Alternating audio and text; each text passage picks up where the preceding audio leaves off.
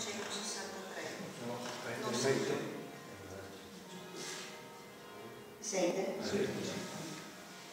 Essi si trovano sulla quota 363, davanti alla famigerata gola che bisogna attraversare per recarsi sulla quota 383, cioè a un posto unico nel suo genere che, nella sua sconsolatezza, può essere paragonato soltanto con il posto che sta sotto una forca.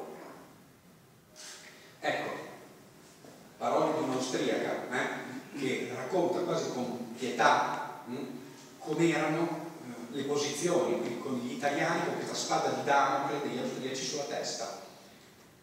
Eh, un'immagine in me molto eloquente. Questo è il cimitero più grande della zona, della zona di Plava, il cimitero Prelli.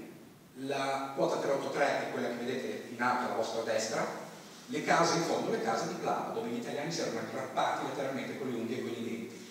Questo tratto di fronte si sbloccherà nel 1917, due anni lì. Ecco giustificato anche questo enorme cimitero. Assomiglia molto a quello di Camino, dopo lo vediamo. Comunque, insomma, tutta la valle di Risonzo era tappezzata di questi cimiteri. Cimiteri che poi vennero